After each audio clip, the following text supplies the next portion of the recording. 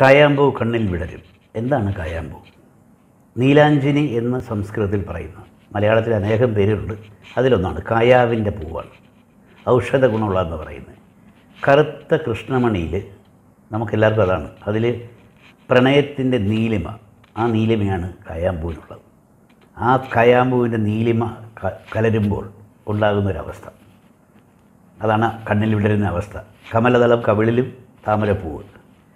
അനുരാഗവതി നിൻ ചുടുകളിൽ നാലിപ്പഴം പൊഴിയും. നിന്റെ ചിരി കണ്ടു കഴിഞ്ഞാൽ മുല്ലപ്പൂ പോലെ എന്ന് പറയും. പക്ഷെ പല്ലിന് ബലം ഉണ്ടാവില്ല അപ്പോൾ. ആലിപ്പഴത്തിന് ബലം ഉണ്ടാവും. ബലമുള്ള പല്ലുകളിലൂടെ വല്ല ചിരിയാണ്. അതുകൊണ്ടാണ് അത് ചുടിയിൽ നിന്ന് പൊഴിയുന്നത് പൊഴിയെന്ന് വെച്ചാൽ ആ ചുടിയിലുണ്ടാകുന്നത് തന്നെ. പൊന്നരഞ്ഞാണം ഭൂമിക്ക് ചാർത്തിയ പുഴയുടെ ഏകാന്ത പുളരത്തിൽ നദി എന്നുള്ള സിനിമയിലാണ്.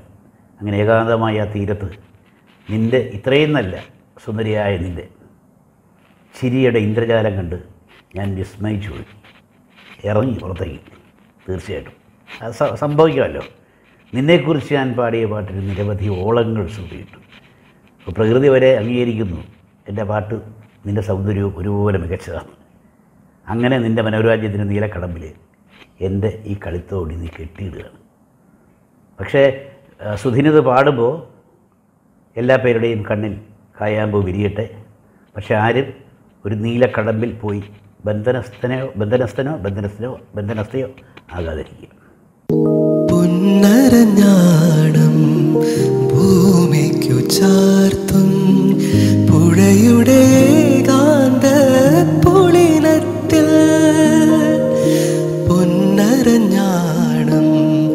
ഭൂമിക്കു ചാർത്തും പുഴയുടെ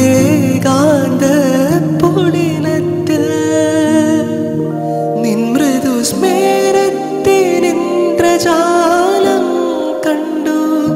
നിൻ മൃദു സ്മേരത്തിനിന്ദ്രജാലം കണ്ടു. നിത്യവിസ്മയവുമായി ഞാനിറങ്ങി. നിത്യവിസ്മയവുമായി